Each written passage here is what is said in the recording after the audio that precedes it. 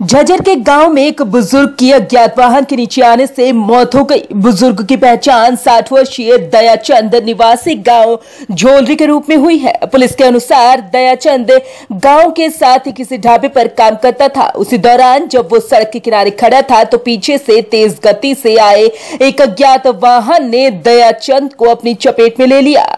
हादसा इतना ज़बरदस्त था कि दयाचंद ने गंभीर चोटों के चलते मौके पर ही दम तोड़ दिया। बाद में कंट्रोल रूम पर मिली सूचना के बाद पुलिस मौके पर पहुँची और मृतक के शव को पोस्टमार्टम के लिए झज्जर के नागरिक अस्पताल भिजवा दिया गया। सूचना आसपास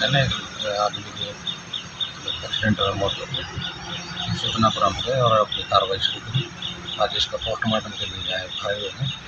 एफ़ आई आर दर्ज करके जाँच शुरू की। कैसे क्या हुआ घटना अभी तो अननोन के खिलाफ एफ़ आई आर दर्ज नहीं किस चीज़ पे था? कहाँ से कहाँ जा रहा था? क्या नाम? पैदल ही था वहीं पे नौकरी करता था। क्या नाम है? कहाँ का रहने वाला? इसका दाचंद नाम है ये दौलरी गाँव है। महेंद्रगढ़ कनीना सड़क मार्ग पर गाँव सिगड़ी में एक 24 वर्षीय महिला ने खुदकुशी कर ली। इस खुदकुशी के दौरान उसने अपनी पाँच महीने की बच्ची को भी मार डाला। गाँव सिगड़ी के सरपंच सवाई सिंह ने इस घटना की जानकारी देते हुए बताया कि उन्होंने तुरंत प्रभाव से सदर थाना पुलिस को इसकी सूचना दे दी है। सूचना मिलने के बाद पुलिस मौके पर पहुँची और दोनों शवों को कब्जे में लेकर नागरिक अस्पताल महेंद्रगढ़ पहुँचाया। वहीं घटना को लेकर उन्होंने चिंता व्यक्त करते हुए कहा है कि गाँव की सबसे अनहोनी घटना है। इस घटना को लेकर गाँव में भी भय का माहौल बना हुआ है। वहीं पुलिस ने मामला दर्ज करके अगली कार्रवाई शुरू कर दी है। लेकिन आपको बता दें कि अभी तक इस आत्महत्या के पीछे के कारणों का पता नहीं चल सका। ये आज सुबह पता चला कि रघुवीर सिंह की पुत्र वधु ने सुसाइड कर लिया। पहले तो ये चर्चा चली कि भाई वो गायब हो गई लड़की को छोड़ के ना। बाद में पता चला कि लड़की किसी पेड़ से टंगी हुई है। और वो पुत्र वधु किसी दूसरे पेड़ पर टंगी हुई है। तो ये घरेलू कारण है मैं तो ये कहूँगा कि दुखद घटना है। ऐसा तो नहीं होना चाहिए समाज में। बाकी मालिक की मर्ज़ी से तो हम क्या कर सकते हैं। अभी तक क्या कार्रवाई हो पाई है?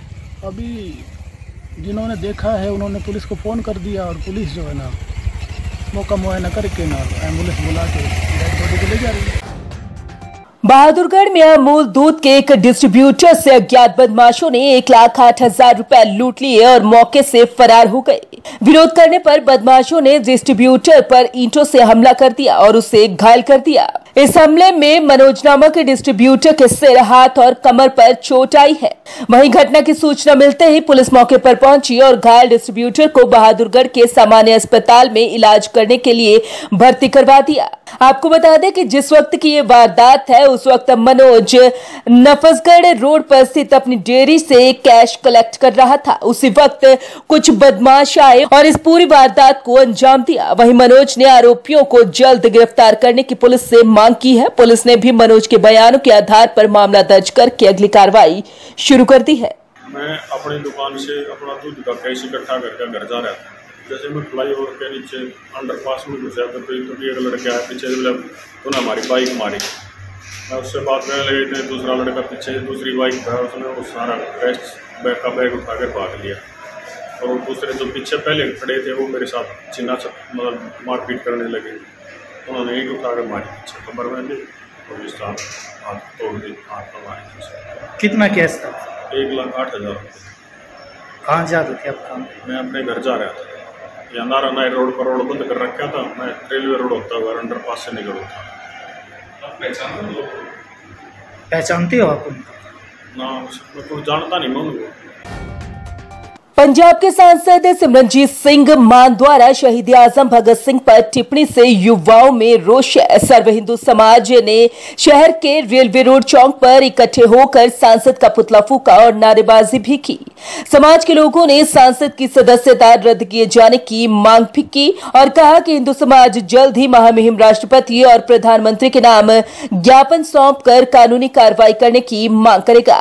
उन्होंने कहा कि शहीद भगत सिंह ने हँसते हुए अपनी जान हम सबकी आज़ादी के लिए कुर्बान कर दी, जिन्होंने अपने सभी रिश्तों से ऊपर भारत माँ के सपूत होने का रिश्ता निभाया, जो कि हमेशा से ही भारत के नौजवानों के आदर्श है, जिसके सामने पूरा भारत आज भी सम्मान से सिर झुकाता है और भारतीय होने का गर्व महसूस करता है।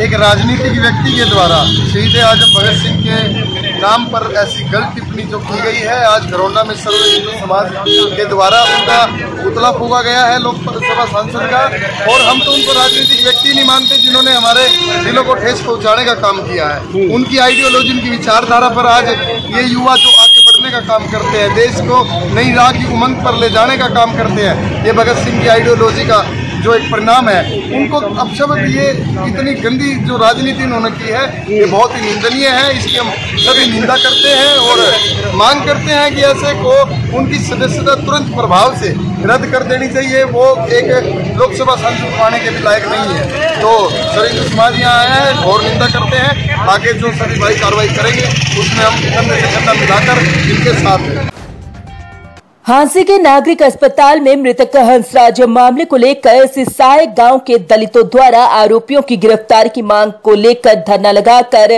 पुलिस प्रशासन के खिलाफ प्रदर्शन किया गया। मृतक हंसराज के परिजनों ने बताया कि गुरुवार को हंसराज का शव गाँव के खेतों में मिला था।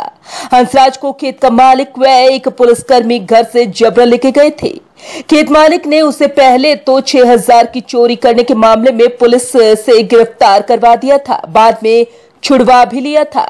शाम चार बजे के करीब हंसराज को एक बार फिर खेत का मालिक परवीन और एक पुलिस कर्मचारी जबरन घर से लेकर गया। वो घर नहीं लौटा तो गुरुवार को उसका शव परवीन के खेतों में मिला। उन्होंने कहा कि हंसराज की हत्या हुई है।